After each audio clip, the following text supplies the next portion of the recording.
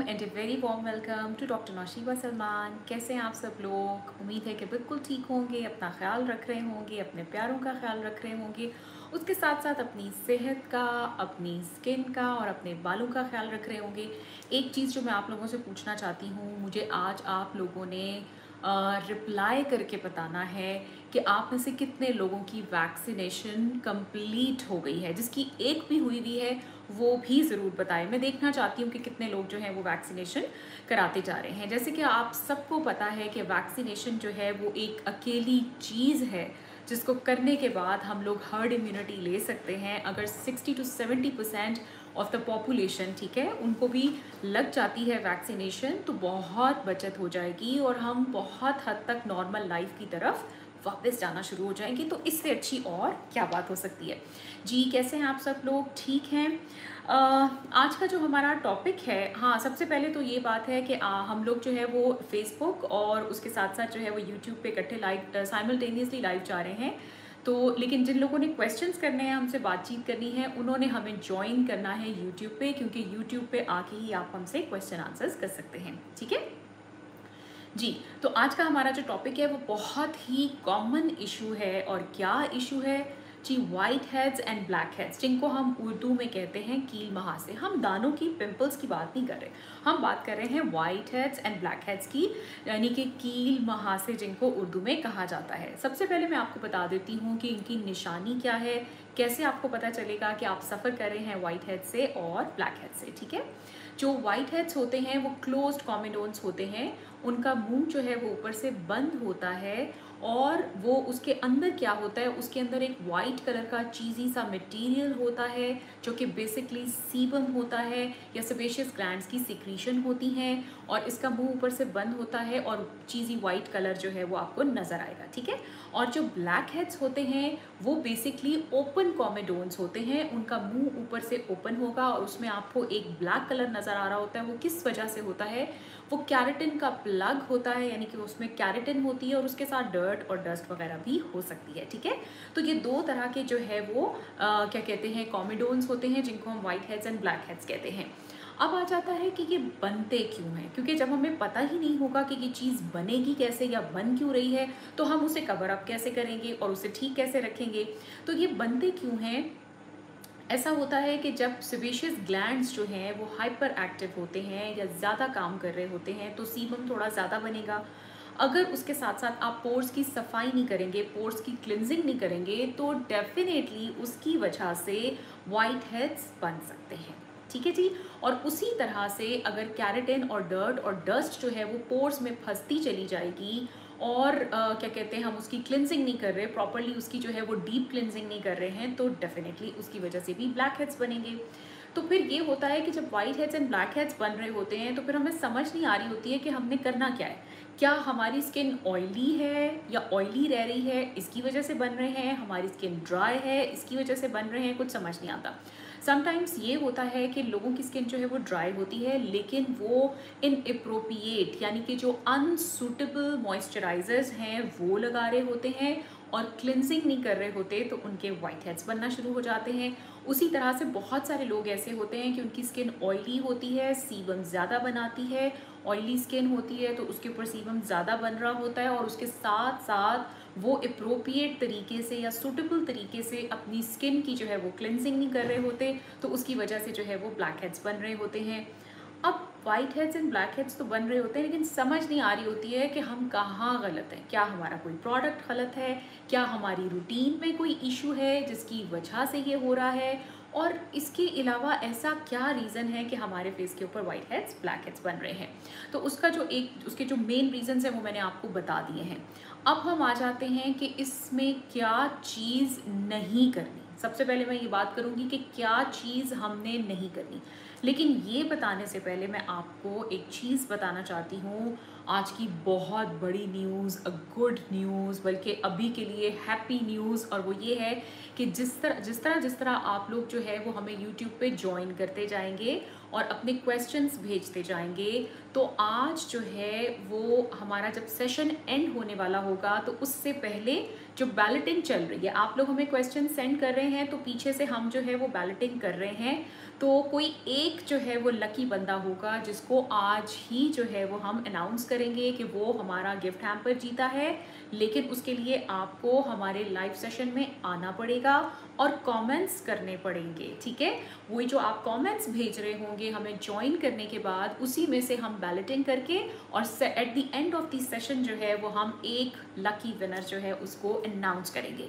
तो जल्दी जल्दी सबको बता दें, जो भी आपके फ्रेंड्स वगैरह हैं, जो भी फैमिली है, उन सबको बता दें कि वो ज्वाइन कर लें और देखते हैं कि by the end of session कौन लकी विनर रहेगा। ठीक है जी? अब मैं सबसे पहले आपको ये बता दूँ कि कौन कौन सी चीज़ें हैं जो आपने वाइट हेड्स ब्लैक हेड्स अगर आपकी स्किन पे बन रहे हैं तो आपने नहीं करनी है। जी, सबसे पहले हम बात करेंगे कि आपने क्या नहीं करना, क्या अवॉइड करना है।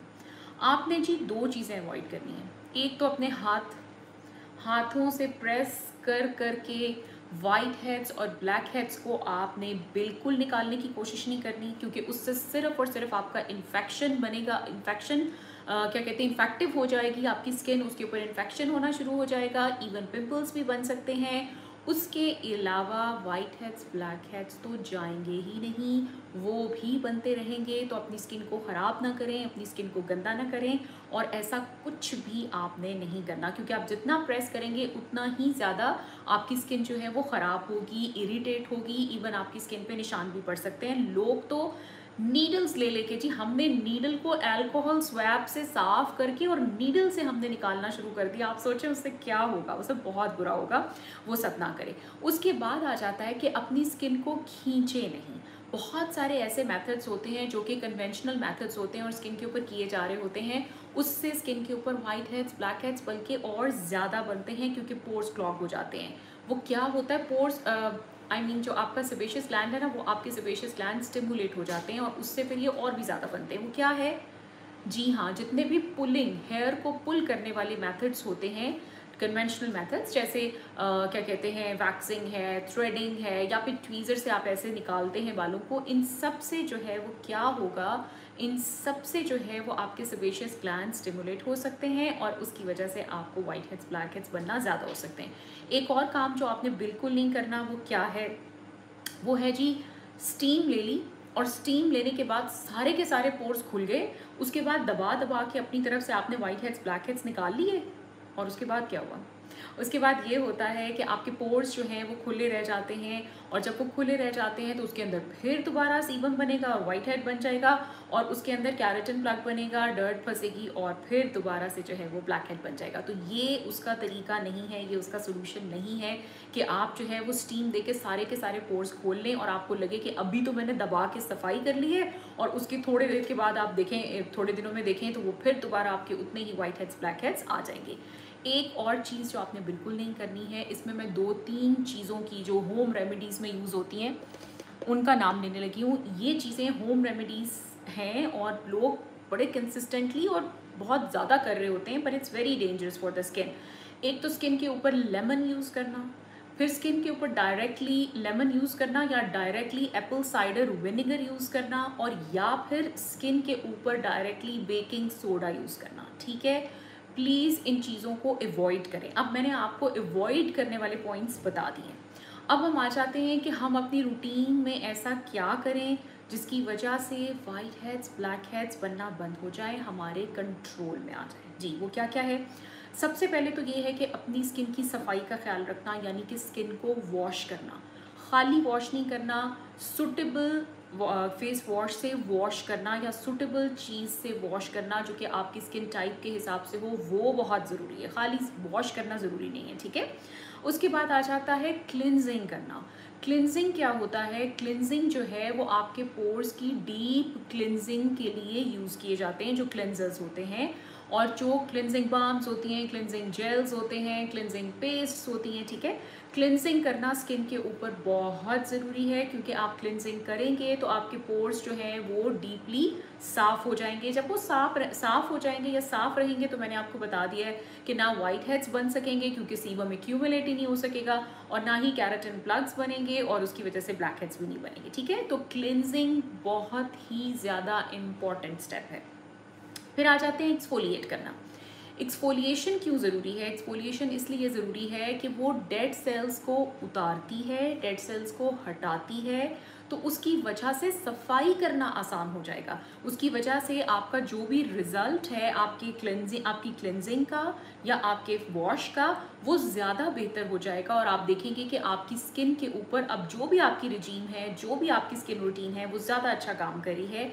और आपकी स्किन जो है वो आपको ज़्यादा बेहतर रिजल्ट्स देना शुरू कर देगी। उसके बाद हम आ जाते हैं कि सूटेबल मेकअप प्रोडक्ट्स यूज़ करना या जो डेली के प्रोडक्ट्स हैं जिसमें आपके मॉइस्चराइजर्स आते हैं आपका मेकअप आता है, आपका सन ब्लॉक आता है, ये सारे आपके डेली रूटीन के प्रोडक्ट्स हैं।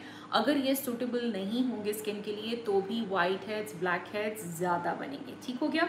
उसके बाद आ जाता है कि आपने मेकअप या कोई भी प्रोडक्ट जो यूज़ करना है, वो कैसा लें? वो जी आप लेंगे ऑयल फ्री ठीक है?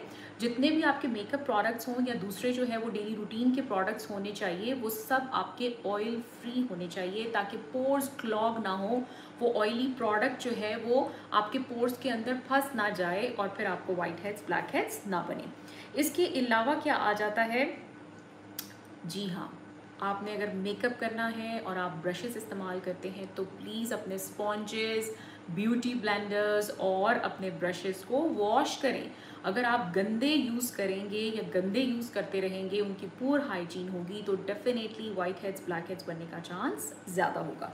उसके बाद आ जाता है जी कि आपके बहुत सारे ऐसे प्रोडक्ट्स होते हैं जो कि जार्स में होते हैं। जार्स में होते हैं टब्स में होते हैं, जिसमें आप फिंगर डाल डाल के उसको निकालते हैं और लगाते हैं।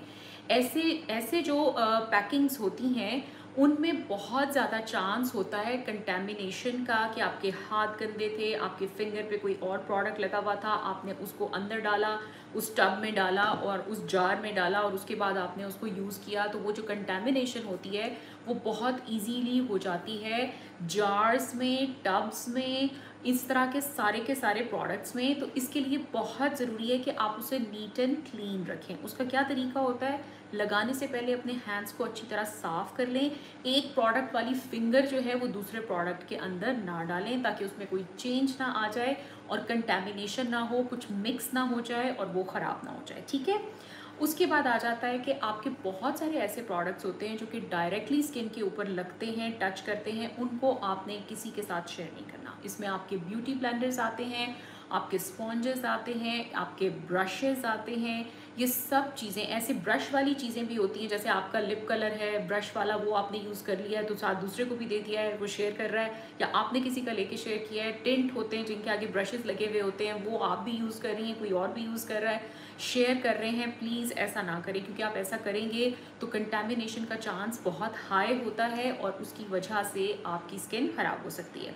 उसके बाद आ जाता है कि बालों को पीछे करके रखें। जी, ये भी एक बात है। बाल जो हैं, अगर हर वक्त आपके यहाँ यहाँ तक पड़े रहेंगे तो आप देखेंगे कि आपकी जो स्किन है, उसके ऊपर इरिटेशन होगी और उसकी वजह से भी आपकी स्किन जो है, वो ख़राब हो सकती है। फिर हम आ जाते हैं कि आपने अपने स्कैल्प को वॉश करके रखना है। अगर आपका स्कैल्प ऑयली होगा या ऑयली रह जाएगा तो आप देखेंगे कि फेस के पोर्स भी क्लॉग हो जाया करेंगे। स्कैल्प के ऑयल की बात कर रही हूँ। सर के ऊपर जो ऑयल आ जाता है या ऑयली स्कैल्प होता है अगर आप उसको साफ़ नहीं रखेंगे तो आपके फेस के पोर्स भी क्लॉक होंगे और आपको व्हाइट हेड्स ब्लैक हेड्स ज़्यादा बनेंगे। ठीक है जी? अब लास्ट में क्या आ जाता है कि आपने अपने पिलो कवर्स यानी कि जो क्या कहते हैं, तकियों के गलाफ होते हैं, तकियों के जो कवर होते हैं, उनको साफ़ रखना है क्योंकि उसी के ऊपर आप सोते हैं, उसी के ऊपर आपका फेस जो है वो टच करता है और पता ये चलता है कि वो क्योंकि बहुत ज़्यादा हार्श कपड़े के थे या फिर जैसे बहुत सख्त कॉटन होती है इस किस्म के या फिर आप जो उसके अलावा जो है वो साफ़ नहीं होंगे तो फिर भी वाइट हेड्स ब्लैक हेड्स बनने का चांस जो है वो ज़्यादा हो जाता है। ठीक है जी? तो ये थे, ये थी हमारी टू डू लिस्ट यानी कि आपने कौन कौन सी चीज़ें करनी है कौन कौन सी प्रिकॉशनरी मेजर्स लेंगे कौन कौन सी चीज़ें जो है वो आप अवॉइड करेंगे, ये दोनों चीज़ें मैंने आपको बताई हैं ताकि आपकी स्किन पे वाइट हेड्स ब्लैक हेड्स ना बन सकें, ठीक है? अब हम आ जाते हैं कि हाँ सबसे पहले मैंने दोबारा से अनाउंस करना है। आप सब जो हैं वो हमें ज्वाइन करें यूट्यूब पे और उसके अलावा जो है, हमें कमेंट्स करें, हमें क्वेश्चंस भेजें, जो भी आप कहना चाहते हैं इवन आप अपना कुछ शेयर करना चाहते हैं तो वो भी कर सकते हैं। और by the end of session हम बैलेटिंग करेंगे और एक लकी विनर जो है, वो अनाउंस करेंगे, जिनको हम जो जैसे ही हमसे डिटेल्स शेयर करेंगे तो हम आपको कल ही आपका गिफ्ट हैम्पर जो है वो डिस्पैच कर देंगे। ठीक है जी? अब हम, अब मैं आपको कुछ प्रोडक्ट्स दिखाने वाली हूँ। देखिए, मैं इतनी देर से बोल रही हूँ कि क्लिनजिंग करना बहुत ज़रूरी है। अब मैं आपको क्लिनजिंग के दो प्रोडक्ट्स दिखाने वाली हूँ, ताकि आप लोगों को अंडरस्टैंडिंग हो। ये देखें, ये है, ये प्रोडक्ट है क्लिनजिंग के लिए। क्लिनजिंग क्ले है पेस्ट कह लें क्लिनजिंग के क्ले कह लें, जो भी आप कहना चाहते हैं। अच्छा ये जो है, ये जो बहुत ज़्यादा स्वेटी ऑयली और यंग स्किन होती है, ये उनके ऊपर हम यूज़ करने के लिए देते हैं। बिकॉज़ ये जो है, ये आपकी स्किन के स्किन के स्किन को नॉर्मल रखने में हेल्प करेगी, ठीक है? अच्छा अब एक और जो मैं दिखा रही हूँ, ये बेसिकली जो है, ये अगर थोड़ी मिच्योर थोड़ी ड्राई थोड़ी एजड स्किन है तो फिर ये वो यूज़ कर सकते हैं नॉर्मल स्किन वाले भी कर सकते हैं, ठीक है? ये भी क्लेंजिंग है। अब ये मैंने आपको दो जो है, वो क्लेंजिंग पेस्ट या क्लेंजिंग क्लेज दिखाए हैं, ठीक है? अच्छा क्लिनसिंग करने का तरीका क्या है? ये बहुत इंपॉर्टेंट है इसको सुन लें। क्लिनसिंग हमेशा जो है वो फेस वॉश करने से पहले की जाती है। 10 से 12 सेकंड क्लिनजिंग करने के लिए पूरे फेस की काफ़ी है, उससे ज़्यादा आपको नहीं करना, ठीक है? और अगर आप फेस और नेक ले रहे हैं तो 15 मिनट बहुत है, उससे ज़्यादा करने की ज़रूरत नहीं है। जिनकी स्किन बहुत ज़्यादा ऑयली है एक्नी प्रोन है प्रोन है, वो दिन में दो दफ़ा कर सकते हैं, जैसे सुबह और रात को सोने से पहले 10 सेकेंड कर लिया करें। और जिनकी स्किन नॉर्मल है या नॉर्मल टू ड्राई है, वो सिर्फ़ एक दफ़ा रात को सोने से पहले जब फेस वॉश करना है तो उससे पहले टेन सेकेंड्स के लिए क्लिनजिंग कर लें। अब मैं आपको एक्सफोलिएशन के प्रोडक्ट्स दिखा रही हूँ। ये देखें ये प्रोडक्ट है, ये भी एक्सफोलियंट है और ये जो है, जिनकी स्किन के ऊपर ब्लैमिशेस हैं, जिनकी स्किन के ऊपर स्पॉट्स पड़े हुए हैं, जिनकी स्किन के ऊपर पिगमेंटेशन है, ये उनके लिए बहुत अच्छा है। सिर्फ़ टेन सेकेंड्स के लिए आपने एक्सपोलिएशन करनी होती है, ठीक है? अब आपको एक और प्रोडक्ट दिखा रही हूँ, इसको देखिए, ये भी जो है एक्सफोलियन एक्सफोलिएशन के लिए है। ये जो है, ये ऑल स्किन टाइप्स के लिए है और ये जो है ये भी आपने 10 सेकेंड्स के लिए करना होता है। अब मैंने आपको दो प्रोडक्ट्स दिखा दिए हैं, जो कि एक्सपोलिएशन के लिए हैं। अब मैं आपको ये बताना चाहती हूँ कि एक्सपोलिएशन जिनकी स्किन नॉर्मल टू ड्राई या एजड है, वो हफ़्ते में दो दफ़ा कर लें टेन सेकेंड्स के लिए और जिनकी स्किन जो है वो बहुत ज़्यादा ऑयली है स्वेटी है एक्नी प्रोन है, बहुत ज़्यादा ऑयली है तो फिर आप जो है वो डेली भी कर सकते हैं फॉर फाइव सिक्स सेकेंड्स नहीं तो एक दिन छोड़ के एक दिन के बाद टेन सेकेंड्स के लिए ज़रूर कर लें, ठीक है? अब इसके साथ साथ जो है वो मैं आपको कुछ फेस वॉशेस दिखाने लगी हूँ। ये फेस वॉशेस जो हैं, ये भी वाइट हेड्स ब्लैक हेड्स को कॉम्पैक्ट करते हैं, ठीक है? ये देखें। ये है, ये भी बहुत अच्छा है और ये जो है बहुत जेंटली जो है वो आपकी स्किन को नॉर्मल रखने में हेल्प करेगा। उसी तरह से ये है, ये भी बहुत जेंटल तरीके से, कोई भी इसमें से ड्राइंग नहीं है, बहुत ही जेंटल तरीके से आपकी स्किन को जो है वो नॉर्मल रखने में हेल्प करेगा। उसके बाद एक और मैं आपको दिखा रही हूँ, ये देखिए, ये भी बहुत अच्छा है और ये भी बहुत जेंटल तरीके से आपकी स्किन को नॉर्मल रखने में हेल्प करेगा। अब जो मैं आपको दिखा रही हूँ वो उन लोगों के लिए है जो ये कहते हैं कि हमारी स्किन पे तो ढेरों, ढेर वाइट हेड्स ब्लैक हेड्स हैं। बहुत ज़्यादा ऑयली है। हमारे कंट्रोल से बाहर है। हमें समझ नहीं आती है कि हमने क्या करना है। उनके लिए ये मैं पावर पैक्ट जो है वो दिखा रही हूँ फेस वॉश ठीक है? ये उन लोगों के लिए है जिनकी स्किन एक्नी प्रोन है या एक्टिव एक्नी है। एक्नी जिसको होती है, उसके white heads black heads definitely होते हैं। तो उनके लिए ये बेस्ट है, ठीक है? इसके साथ साथ जो है, मैं आपको अक्सर पील करने का भी बताती हूँ कि पील भी करना चाहिए। जो A H A B H S की पील्स होती हैं, वो बहुत अच्छी रहती हैं इस सेंस में कि वो आपकी स्किन के टर्न ओवर टर्न ओवर को स्किन सेल टर्न ओवर को नॉर्मलाइज रखती हैं और उसकी वजह से आपकी स्किन जो है, वो हेल्दी रहती है और आपकी स्किन में जो बाकी सारे प्रोडक्ट्स होते हैं, उनकी एब्जॉर्प्शन बहुत अच्छी लगती है, ठीक है? तो ये मैं आपको दिखा रही हूँ। ये भी बहुत ही अच्छी चीज़ है और इसको कॉशियसली करना चाहिए, थोड़ा सा यूज़ इसमें ये है कि बहुत जल्दी जल्दी यूज़ करने की ज़रूरत नहीं होती है। 15 टू 20 डेज़ में एक दफ़ा आपने इसको यूज़ करना है। स्क्रब की तरह ही लगाना है डैम्प स्किन पे और उसको 10 सेकेंड्स के लिए आपने स्क्रब की तरह क्या कहते हैं रब करना है अपने फेस पे और उसके बाद आप इसको वॉश कर दें, ठीक है? अच्छा तो ये थे कुछ हमारे सेलियंट पॉइंट्स जिनको हमने कवर करना था। अब हम आ जाते हैं, आप लोग बहुत ज़्यादा पूछते हैं कि जी, घर में क्या करना है? अब घर में करने वाली जो रेमेडीज़ हैं, उसमें जो सेफ़ रेमेडीज़ हैं, उसमें से एक रेमेडी मैं आपको बता रही हूँ। अगर वाइट हेड्स ब्लैक हेड्स हों तो वो आप कर सकते हैं ट्राई कर सकते हैं। लेकिन अगर आपकी स्किन प्रॉब्लमेटिक है तो आप ट्राई ना करें एक्सपेरिमेंट ना करें। उसमें आपने क्या करना है कि उसमें आपने चावल लेने हैं, चावलों को अच्छी तरह से टिश्यू पेपर से साफ़ कर लें। साफ़ करने के बाद आप चावलों को ग्राइंड कर लें। ग्राइंड करने के बाद आपने चंद कतरे पानी डाल के उसकी पेस्ट बना लेनी है। जब उसकी पेस्ट बन जाएगी तो आपने उसको डैम्प स्किन पे, यानी कि हल्की गीली स्किन के ऊपर जो है वो आपने just like normal rubbing motion जो हम स्किन के ऊपर करते हैं एक्सफोलिएशन के लिए या फिर ये कि स्किन को साफ़ करने के लिए क्लेंजिंग के लिए वो आपने करना है। तो ये बहुत ही इजी वे है जिससे आप अपनी स्किन को अच्छी तरह से एक्सफोलिएट भी कर सकते हैं और डीपली साफ़ हो जाएगा। अगर तो किसी की स्किन जो है वो थोड़ी मेच्योर है, उसके ऊपर थोड़ी पिगमेंटेशन भी है तो आप हल्का सा मिल्क इसके अंदर ऐड कर लें। मिल्क जो है वो ड्राई पाउडर नहीं, मैं कह रही हूँ। आप नॉर्मल जो खुला दूध या कोई सा भी दूध जो आपके पास होता है, जो कि बॉयल ना हुआ हो, उसको आप थोड़ा सा, पानी की जगह थोड़ा सा उसको ऐड कर लेंगे। अब हम आ जाते हैं कि कुछ ऐसे लोग होते हैं जिनकी स्किन जो होती है, उस पर बहुत ज़्यादा स्वेटिंग होती है। और बहुत प्रॉब्लमेटिक होती है। ब्लैमिशेस वाली वाइट हेड्स ब्लैक हेड्स वाली और उसके अलावा एक्नी भी थोड़ी बहुत चल रही होती है। तो वो ये कर सकते हैं कि वो इसके अंदर खीरे का जूस डाल दें पानी की बजाय और फिर इसको यूज़ कर लें, ठीक है? इन ये दोनों तीनों चीज़ें जो मैंने आपको बताई हैं, ये आपकी स्किन को इरीटेट नहीं करेंगी। फिर भी कॉशियस रहते हुए आप इसको यूज़ कर सकते हैं, ठीक है? अब हम आ जाते हैं अगर आप घर में ये सब कुछ कर लेते हैं, लेकिन आपके white heads black heads control में नहीं आ रहे हैं तो फिर आपने क्या करना है?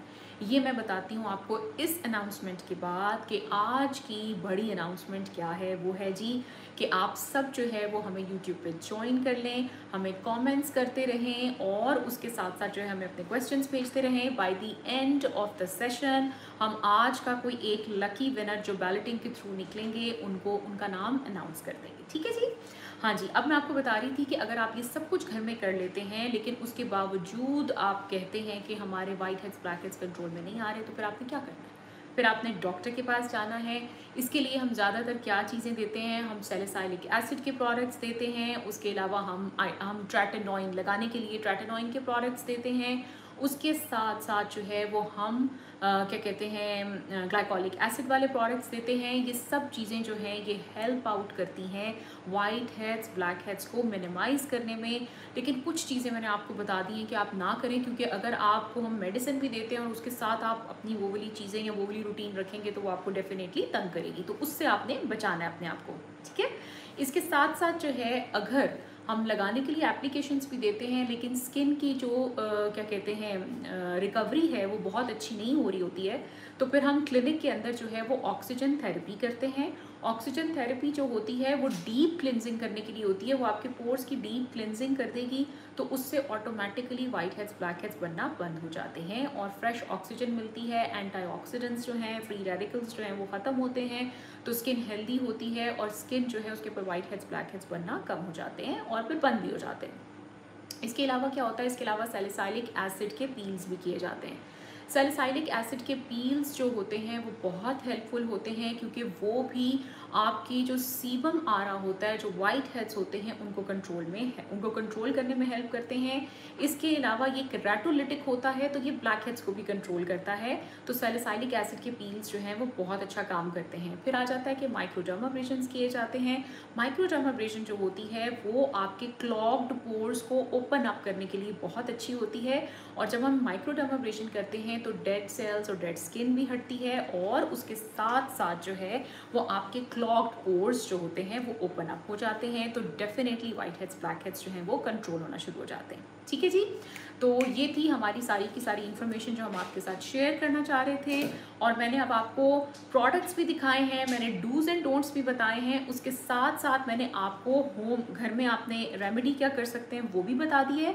और उसके साथ साथ अगर कंट्रोल में नहीं आता तो फिर आपने डॉक्टर के पास आना है और कौन कौन से ट्रीटमेंट्स जो है वो हम अवेलेबल हमारे पास अवेलेबल होते हैं, जिनसे आप जो है वो अपनी स्किन को बेहतर बना सकते हैं। चलें जी, अब आपके क्वेश्चंस जो हैं, उनके आंसर या उनके रिप्लाई शुरू करते हैं। हफ्सा उबैद के लिए अस्सलाम वालेकुम अस्सलाम बी सूटिकल्स का एच एट परसेंट यूज़ करने के बाद वाइटामिन सी या नाइट क्रीम अप्लाई कर सकते हैं। क्या जी बिल्कुल कर सकते हैं। वाइटामिन सी और नाइट क्रीम आप यूज़ कर सकते हैं। जो चीज़ें नहीं कर सकते, वो ग्लाइकोलिक एसिड वाले प्रोडक्ट्स ना यूज़ करें उस दिन रात को। और जो अगर ट्रैटनॉइन वाले प्रोडक्ट्स हैं तो वो यूज़ ना करें, क्योंकि वो इरिटेट कर सकते हैं, ठीक है? बाकी आप यूज़ कर सकते हैं। हफ्सा उबैद कह रही हैं कि आप फेस को मिसलर वाटर से क्लीन कर क्लीन करें सनस्क्रीन रीअप्लाई कर, करके सनस्क्रीन रीअप्लाई कर सकते हैं या फेस को हर दो घंटे के बाद वॉश करके लगाएँ। नहीं, आप बिल्कुल ठीक कह रही हैं, दो घंटे तो खैर बहुत कम टाइम है। आप इवन इसको जो है वो फोर टू फाइव आवर्स तक लेके जा सकते हैं। अगर आप फेस वॉश कर सकते हैं तो वॉश करके रीअप्लाई कर लें। अगर वॉश नहीं किया जा सकता तो फिर आप मिसलर वाटर होता है या बहुत अच्छे अच्छे जो हैं वो टोनर प्लस क्लिनजर्स होते हैं, उसको कॉटन पे डाल के, उससे साफ़ करके वाइप करके और फिर दोबारा से अपना सन ब्लॉक लगा सकते हैं। क्योंकि देखें अगर आपके प्रोडक्ट्स जैसे सन ब्लॉक है, जो कि आपके यूज़ में रहता है, वो भी अगर आपके पोर्स के अंदर रह जाएगा घंटों के लिए तो डेफिनेटली आपको वाइट हेड्स ब्लैक हेड्स बनने हैं। इसलिए ये बहुत ज़रूरी है कि आप एक दफ़ा इसको साफ़ करके पाँच छः घंटे के बाद इसको लिमिट सिक्स आवर्स रखें, उसके बाद इसको साफ़ कर लें और साफ़ करके दोबारा रीअप्लाई कर लें। चाहे वो आपका मेकअप है सन ब्लॉक है मॉइस्चराइज़र है, कोई सिरम है, कोई क्रीम है। मून स्काई कह रहे हैं ब्लैक हेड मेरे नोज़ पर है, कभी कुछ यूज़ नहीं किया, कोई टिप्स बता दें। मून स्काई मैंने अभी आपको बताया कि आप घर में क्या यूज़ कर सकते हैं और क्या आपने अवॉइड करना है। एक तो दबा दबा के निकालने को अवॉइड कर दें स्टीम दे के बाहर निकालने को अवॉइड कर दें, सुइयों से इसको निकालने को अवॉइड कर दें। उसके अलावा एप्पल साइडर विनेगर डायरेक्ट ना लगाएँ, इसके साथ साथ जो है वो लेमन जूस ना लगा लें या बेकिंग सोडा जो है वो डायरेक्टली ना लगा लें, ठीक है? तो आप क्या यूज़ कर सकते हैं? मैंने आपको बताया है कि आप चावल चावल ले लें, उनको अच्छी तरह कपड़े से साफ़ कर लें, उनको उनको जो है वो पीस लें और एक जो है वो ग्रैन्यूलर सा पाउडर बना लें, उसके अंदर हल्का सा पानी डालें पेस्ट की तरह पेस्ट से भी कम इसकी कंसिस्टेंसी होनी चाहिए और उससे जो है वो आप रबिंग एक्शन देंगे फॉर फ्यू सेकेंड्स तो ये बहुत बेहतर रहना शुरू हो जाएँगे।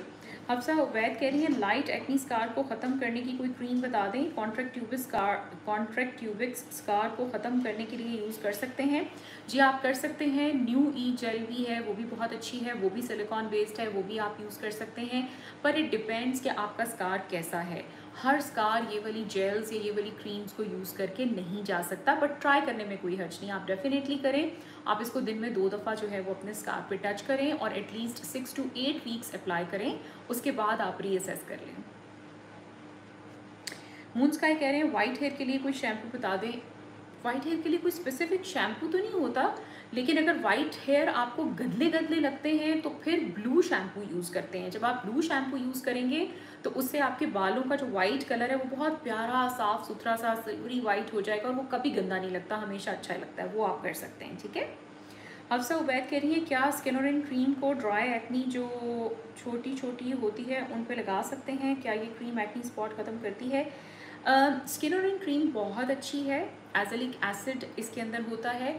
एजलिक एसिड दोनों चीज़ों को हेल्प करता है ख़त्म करने में। आपकी जो पिंपल्स या एक्नी होती है, उसको ख़त्म करने में भी हेल्प करता है और जो निशान या स्पॉट्स होते हैं पोस्ट एक्नी स्पॉट्स उसको भी ख़त्म करने में हेल्प करता है। बट द प्रॉब्लम इज़ कि एजलिक एसिड जो है, वो बहुत आसानी से स्किन को इरीटेट कर सकता होता है, ठीक है?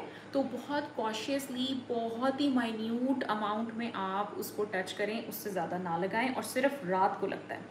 मून स्काई कह रहे हैं लाइकन प्लानस प्लानस कौन सी डिज़ीज़ है और उसका क्या ट्रीटमेंट है? लाइकन प्लानस जो होती है, इसमें लाइकनॉइड एरप्शंस होती हैं पर्पलिश ब्लूइश सा कलर होता है पॉलीगोनल होता है, जैसे बहुत सारे इसके एजेस हों, जैसे फाइव सिक्स इसके जो हैं, वो एजेस होंगे, ये राउंड नहीं होते। इसके स्पॉट्स राउंड नहीं होते, इसके स्पॉट्स जो हैं, वो कॉर्नर्स वाले होते हैं एटलीस्ट फाइव कॉर्नर्ड होते हैं, ठीक है?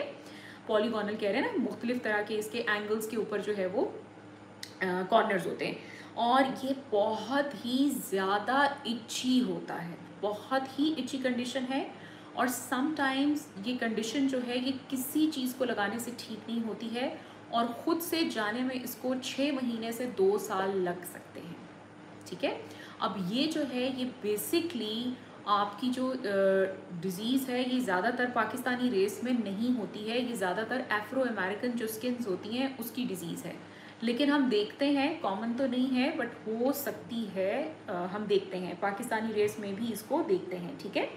और इसका ट्रीटमेंट मैंने आपको बता दिया है। वैसे तो ज़्यादातर स्टेरॉयडल प्रेपरेशन ही दिए जाते हैं और सिम्टोमेटिक जो इरिटेशन इसमें खारिश क्योंकि बहुत होती है उसका कोई सिम्टोमेटिक ट्रीटमेंट जो है वो लगाने या खाने के लिए दिया जाता है।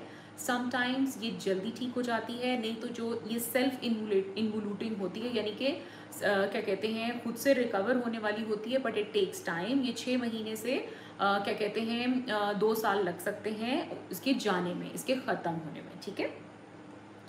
हफ्सा उबैद कह रही है toner night cream serum sunscreen acne cream इन सब का बता दें कि ड्राई फेस पर यूज़ करना है या डैम फेस पर? यार इसमें से कोई चीज़ आपने डैम फेस पर यूज़ नहीं करनी सारी की सारी ड्राई पे करनी है। फेस वॉश करने के बाद जो पहली चीज़ करनी होती है, वो आपका टोनर है। नाइट क्रीम भी आपने ऐसे ही लगानी है, ड्राई स्किन पे सिरम भी ऐसे ही लगाना है, सनस्क्रीन भी ऐसे ही, एक्नी क्रीम भी, सब कुछ ड्राई स्किन पे लग रहा है, कुछ भी इसमें से डैम पे नहीं लग रहा, ठीक है? मून स्काई कह रहे हैं कि how to get clear glowing spotless skin home remedies बता दें।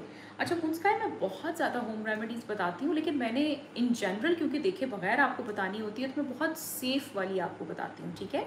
अगर आप कहते हैं कि जी, आपकी स्किन हेल्दी रहे तो अभी देखिए मैंने आपको एक्सफोलिएशन और डीप क्लिनजिंग के लिए जो बताया है, अगर आप इसे ही हफ़्ते में दो दफ़ा कर लेंगे तो आप देखेंगे कि आपकी स्किन पहले से बहुत बेहतर रहना शुरू हो जाएगी, ठीक है? रज़ा अली कह रहे हैं टीनेज बच्चों के प्राइवेट पार्ट्स के हेयर रिमूव किससे करने चाहिए? जैसे बड़ों के करने चाहिए। टीनेजर जब उसके बाल आ गए हैं तो आप उसी तरह रिमूव करेंगे। अगर आप बालों को खींचते जाएँगे तो हर स्किन को खींचना पसंद नहीं आता। हर स्किन जो है वो वैक्सिंग पसंद नहीं करती है। उसी तरह हर स्किन जो है वो डेपिलेटरी क्रीम यानी हेयर रिमूविंग क्रीम पसंद नहीं करती है। जब आप करना शुरू करेंगे तो पता चल जाएगा, अंदाज़ा हो जाएगा कि इस स्किन को ये ये मेथड पसंद आ रहा है या नहीं। तो आप मेथड को स्विच कर सकते हैं। और अगर कुछ भी स्किन को पसंद नहीं आ रहा, उसके ऊपर फॉलिकुलाइटिस यानी छोटे छोटे दाने बन जाते हैं इनग्रोन हेयर बन जाते हैं या एलर्जी हो जाती है डर्माटाइटिस हो जाता है तो फिर डेफिनेटली आप वैक्सिंग या डेपिलेटरी क्रीम तो यूज़ नहीं कर सकेंगे तो आप क्या कर सकेंगे? उसमें फिर यही होता है कि फिर आप लेज़र करा लेते हैं तो इसमें कोई एज लिमिट या एज की बात नहीं है। आप जब टीनेजर जो है, वो ये इन बालों को क्लियर करना अनवांटेड हेयर जो है प्राइवेट पार्ट से अनवांटेड हेयर को हटाना शुरू करेंगे और अगर उनकी स्किन को वो मेथड यूज़ सूट नहीं कर रहा कन्वेंशनल मेथड जो आप एक स्टार्ट करेंगे तो वो दूसरे कन्वेंशनल मेथड पे चले जाएँ, उससे ठीक रहता है तो वेल एंड गुड और अगर किसी भी कन्वेंशनल मेथड से उनको कोई भी प्रॉब्लम आ रही है तो फिर तो आपको लेज़र ही कराना पड़ता है, उसके अलावा कोई और ऑप्शन या चॉइस नहीं होती। मून स्काई कह रहे हैं viral warts hand and feet पर हैं, उसका ट्रीटमेंट क्या होगा? वॉट्स जो हैं, उनको आपको जलाना ही पड़ता है, उनको ख़त्म ही करना पड़ता है लेज़र से भी किया जाता है लेज़र ट्रीटमेंट एक्सपेंसिव होता है कॉटरी भी कराई जा सकती है, याद रखें जब तक कि हम जहाँ पे इसके रूट्स हैं, यानी कि अंदर वाली साइड पे इसके रूट्स ज़रूर होते हैं वॉट्स के, अगर हम रूट्स तक रूट को रिमूव नहीं करेंगे या रूट को बर्न नहीं करते हैं तो ये फिर दोबारा बन जाएगा। और ये एक जगह पे बनता है तो बाकी बहुत सारी जगहों पे बहुत आसानी से फैल जाता है। इसलिए जहाँ जहाँ बने हुए हैं, उनको एक ही टाइम पर रिमूव कराना बहुत ज़रूरी है। हफ्सा उबैद के लिए जब बी सूटिकल्स का B white foam three percent use करें तो उससे पहले फेस वॉश भी यूज़ करें या नहीं? अच्छा तो यही होता है। देखें तरीका जो है, जो ऑर्डर है, वो मैं आपको बता दूँ। पहले क्लिनजिंग की जाती है, उसके बाद फेस वॉश किया जाता है, फिर एक्सफोलिएट किया जाता है, फिर आप उसके ऊपर मास्क लगा सकते हैं। मास्क को वॉश करने के बाद या उतारने के बाद टोनर लगाया जाता है और फिर उसके ऊपर कोई सिरम लगा सकते हैं। सिरम के बाद जो है, वो क्रीम्स लगती ठीक है? मैंने आपको बता दिया मैं फिर से कहती हूँ आपने पहले जो है वो क्लिनजिंग क्लिनजिंग हमेशा पहले की जाती है फिर फेस वॉश किया जाता है और फिर उसके ऊपर एक्सफोलिएशन की जाती है और फिर उसके ऊपर जो है वो आप आ, क्या कहते हैं मास्क लगा सकते हैं ठीक है? मून स्काई कह रहे हैं मैम फैमिली को कब इंट्रोड्यूस करवाएँगी? इस बात को वन ईयर हो गया। आप सही कह रहे हैं लेकिन फैमिली जो है वो इतनी बिज़ी होती है इस टाइम पे बच्चे पढ़ रहे होते हैं उनकी ऑनलाइन क्लासेस चल रही होती हैं, उनकी ट्यूशन्स चल रही होती हैं या उनके एग्ज़ाम्स चल रहे होते हैं तो वो टाइम जो है वो बन ही नहीं पाता। बट आई थिंक किसी ओकेजन पे जो है वो हम एक छोटा सा गेट टुगेदर टाइप का रख लेंगे, जिसमें जो है वो आप सबकी फैमिली से मुलाकात हो जाए। कलीमुल्ला कह रहे हैं, सलाम मैम, आपकी क्लिनजिंग मेथड से एक्नी बहुत कंट्रोल हो गई है, लेकिन अभी भी मेरे ओपन पोर्स हैं और स्किन बहुत ऑयली है कलर भी ख़राब है प्लीज़ कुछ बता दें। अच्छा देखिए मैंने अभी बहुत सारे ऑप्शंस बताए हैं आपको। आ, अगर जो है वो आप क्लिनजिंग और फेस वॉश यूज़ कर रहे हैं तो एक्सफोलिएशन को ऐड कर लें। अगर आप जो है वो अप्रोप्रिएट यूज़ नहीं कर रहे अपना फेस वॉश तो उसको भी ऐड कर लें। तो जब सारी चीज़ें एडिड होंगी तो वो बहुत अच्छा रिज़ल्ट आ जाएगा। उसके अलावा आप क्या कर सकते हैं? उसके अलावा आप ओपन पोर्स के लिए जो है वो यूज़ कर सकते हैं ग्लाइकोलिक एसिड की क्रीम ग्लाइकोलिक एसिड की क्रीम जो है वो इसी नाम से आती है। टेन परसेंट आप ले लें वो रोज़ रात को आप थोड़ा सा लगाना शुरू करेंगे फेस वॉश करने के बाद ड्राई करने के बाद तो आप देखेंगे कि ओपन पोर्स भी बेहतर होना शुरू हो जाएँगे कलर भी बेहतर होना शुरू हो जाएगा। रसा अली कह रहे हैं बिपैंथॉल लोशन फेस पर यूज़ कर सकते हैं। वैसे उन्होंने बनाया तो नहीं हुआ ये फेस के लिए basically it's a body lotion लेकिन अगर आप यूज़ करना चाहते हैं तो कर सकते हैं, मैं वैसे रेकमेंड नहीं करूँगी सजेस्ट नहीं करूँगी। आयशा खान कह रही है, सलाम मैम, बॉडी के बाल वैक्स से रिमूव कर सकते हैं लेज़र नहीं अफोर्ड कर सकते, आप बिल्कुल कर सकते हैं, बस प्रॉब्लम ये होती है कि हर स्किन जो होती है, वो उसके लिए वैक्स सूटेबल नहीं होती है। बहुत सारी स्किन ऐसी होंगी कि वो ख़राब होना शुरू हो जाएँगी, उसके ऊपर इनग्रोन हेयर बनना शुरू हो जाएँगी, स्ट्रॉबेरी स्किन हो जाएगी, या फिर ये कि इवन पिगमेंटेशन भी हो सकती है। तो ये इशू होता है, करने को तो आप कर सकते हैं। जमेरिया मलिक कह रही है मैम मेरी आइज़ बहुत पफ़ी हो गई हैं। अपर आईलेट सुबह उठने के बाद बहुत ज़्यादा होता होती हैं। प्लीज़ मुझे कुछ बताएँ कोई टेस्ट वगैरह तो बता दें कुछ प्लीज़। जवेरिया ऑनेस्टली स्पीकिंग अगर अपर आईलेट्स आपके जो हैं वो पफ़ी रह रहे हैं तो मुझे देख के ही समझ में आ सकेगा। uh, बहुत दफ़ा ऐसा होता है कि बहुत लाइट सा जो है वो सिबॉरिक डर्माटाइटिस होता है जिसकी वजह से जो है वो अपर आईलिड्स ऐसे रह रहे होते हैं। हाँ अगर आप मुझे कहते कि लोअर लिप्स जो हैं, वो पफ़ी रहते हैं तो फिर मैं आपको टेस्ट बता देती। मेरा ये ख्याल है कि आपके लिए ज़्यादा बेहतर यही है कि आप मुझे दिखा लें, मुझे नहीं दिखाना किसी और को दिखा लें। उससे ये आसानी होगी कि हमें पता होगा कि हम किस डायरेक्शन में जा रहे हैं और क्या हम कर सकते हैं और आपको उसका क्या आउटकम क्या रिज़ल्ट मिलेगा, ठीक है? मेरा तो यही सजेशन है।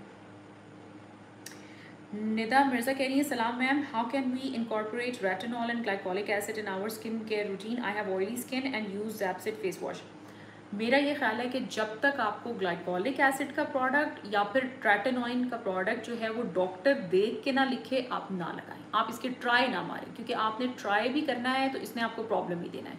तो बहुत अच्छा है, बहुत ज़रूरी है कि हम इसको देख के उसके बाद ही आपको दें। तो आप जिसको भी दिखा रहे हो या मुझे दिखा रहे हो तो उसी को फॉलो करते हुए जब जो भी आपका फॉलो अप रीविजिट होगा, उसी के ऊपर आप डिस्कस कर लो और वो कोई चीज़ आपको देना चाह रहे होंगे इसके साथ, जो स्किन को इरीटेट ना करे तो वो दे देंगे, ठीक है?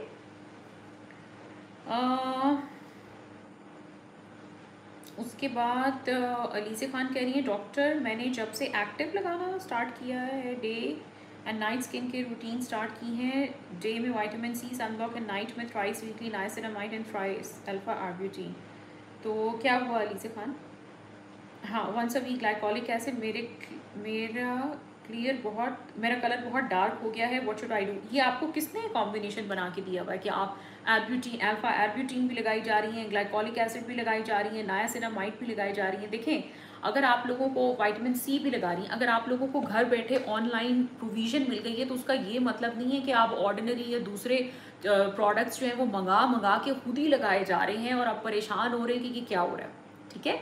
हम हो सकता है कि आपकी स्किन के लिए ये कॉम्बिनेशन सूटेबल नहीं है लेकिन कैसे पता चले? अब मैंने तो नहीं देखी आपकी स्किन आप प्लीज़ जब तक डॉक्टर रेकमेंड ना करे, ऐसे ही एक्टिव इंग्रेडिएंट्स एक्टिव एसिड्स उठा उठा के या फिर एक्टिव इंग्रेडिएंट्स वाले सिरम्स उठा उठा के मत लगाएँ। आप नायासिनामाइड भी लगा रही हैं ग्लाइकोलिक एसिड भी लगा रही हैं वाइटामिन सी भी लगा रही हैं अल्फ़ा एल्ब्यूटीन भी लगा रही हैं आप क्या चाह रही हैं? अगर ये सब कुछ आपको सूट कर रहा होता तो आपकी स्किन ऐसी तो ना होती कि आप कंप्लेन कर रही होती मुझसे कि मुझे ये लग रहा है कि मेरी स्किन का कलर ख़राब हो रहा है। ऐसे तो नहीं होता ना। तो इसका मतलब है कि देर इज़ समथिंग जो कि आपकी स्किन को पसंद नहीं आ रहा, वो आपकी रूटीन हो सकती है, वो आपका मिक्सचर जो आपने बनाया हुआ है, वो हो सकता है। तो प्लीज़ बी कॉशियस जब तक डॉक्टर आपको आपकी स्किन देख के ये ना बताए कि आपने किस वक्त क्या लगाना है और आप क्या अपनी रजीम रख सकते हैं, तब तक ना यूज़ करें कि आपको ऑर्डिनरी या दूसरे प्रोडक्ट्स जो हैं, दूसरी कंपनीज़ के अवेलेबल हैं ऑनलाइन तो आप मंगा मंगा के लगाना शुरू कर दें। ये कोई अच्छा तरीका नहीं है, इससे स्किन इरीटेट हो सकती है। निदा मिर्ज़ा कह रही हैं, नहीं जवेरिया मलिक कह रही हैं, मेरी लिप्स पिंक हैं बट कॉर्नर्स डार्क हैं, उसका, उसने कहा कि किसी ने कहा कि ये हाइपर पिगमेंटेशन है प्लीज़ कुछ बता दें।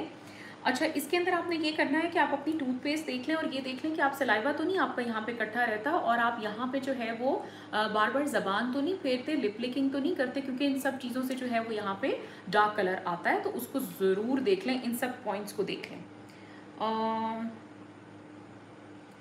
निदा मिर्ज़ा कह रही है do we need to use B C A H exfoliant if using retinol and glycolic acid अगर तो ये आपको किसी डॉक्टर ने कॉम्बिनेशन बताया है तो फिर तो ज़ाहिर है उन्होंने बताया होगा कि आपने कैसे कैसे यूज़ करना है। अगर डॉक्टर ने नहीं बताया, अपने बिहाव पे पूछ रही हैं तो ये इस तरह का कॉम्बिनेशन नहीं है कि मैं कह दूँ कि हाँ ये सामने मैंने रखे हुए हैं और जिसका दिल करता है वो ये लगाना शुरू कर दे और उसे कुछ नहीं होगा। डेफिनेटली स्किन इरीटेट हो सकती है तो प्लीज़ जब तक डॉक्टर ना आपको कहे, तब तक ना लगाएँ। जैनब अहमद कह रही है can you apply anti wrinkle serum over vitamin C serum and please suggest any drinkable powdered collagen जो ड्रिंकेबल कॉलेजन्स हैं, वो क्लिनिक पे अवेलेबल हैं, आप कॉल करके उनके फ्लेवर या जो भी पूछना चाहते हैं, वो पूछ सकते हैं और उनको यूज़ कर सकते हैं। उसके बाद आ जाता है कि वाइटामिन सी सिरम जो है, वो एंटी रिंकल सिरम जो है, उसके साथ यूज़ कर सकते हैं। इट्स बेटर कि आप वाइट प्ले सेफ़ आप वाइटामिन सी सिरम डे में यूज़ कर लिया करें सनब्लॉक से पहले और जो एंटी एजिंग है, वो रात को सोने से पहले आप लगा लेंगे तो ये बहुत ईजी और सेफ़ जो है, वो आपके लिए रहेगा। आप ऐसे भी कर सकते हैं, ठीक है? अच्छा जी, अब ये सब हो गया। अब मैं जल्दी से ये देख लूँ कि आज का लकी विनर कौन है, ठीक है? Let me check let me check देख रहे हैं, देख रहे हैं। जी। विनर अनाउंस करना है, ठीक है? थोड़ा सा वेट करिए लेट मी चेक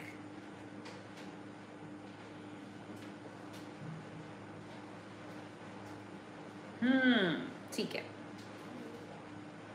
तो जी, आज की विनर हैं जिन्होंने हमें सबसे पहले क्वेश्चन भेजा था, सबसे पहले ज्वाइन किया था, उनका नाम है हफ्सा उबैद। ठीक है जी? आज की हमारी जो लाइव सेशन की विनर हैं उनका नाम है हफ्सा उबैद। आपको बहुत बहुत आ, क्या कहते हैं कॉन्ग्रेचुलेशंस और आप जितनी जल्दी अपनी डिटेल्स जो है वो हमारे साथ शेयर करेंगी उतनी जल्दी ही हम आपको आपका गिफ्ट हैम्पर भिजवा देंगे। तो हमारी तरफ़ से आपको जो है वो बहुत बहुत कॉन्ग्रेचुलेशंस और हार्टी कॉन्ग्रेचुलेशंस ठीक है? और आप जितनी जल्दी अपनी डिटेल्स शेयर करेंगी, उतनी ही जल्दी हम आपको आपका गिफ्ट हैम्पर पहुँचा देंगे। ठीक है जी? तो आज के लाइव सेशन की विनर हैं हफ्सा उबैद, क्योंकि हफ्सा उबैद जो हैं, एक तो जो उनके लॉजिकल क्वेश्चंस थे मुझे वो अच्छे लगे, और दूसरी बात ये कि उन्होंने हमें सबसे पहले ज्वाइन किया था, और क्या कहते हैं क्वेश्चंस हमें भेजना शुरू किए थे। ठीक है जी? तो नेक्स्ट वीक आपसे फिर दोबारा मिलेंगे, एक अच्छे से टॉपिक के साथ, जो कि आपके लिए यूज़फुल हो, जो कि आपके लिए इन्फॉर्मेटिव हो, तब तक अपना बहुत ख्याल रखें और अल्लाह हाफिज़ विनर का नाम जो है वो बार बार लिखा हुआ आ रहा है सेशन के नीचे और प्लीज़ जितनी जल्दी आप जो है वो हमसे अपने डिटेल्स शेयर करेंगी, उतनी जल्दी हम आपको आपका गिफ्ट हैम्पर भिजवा सकेंगे। ठीक है जी, अपना बहुत ख्याल रखें। अल्लाह हाफिज़।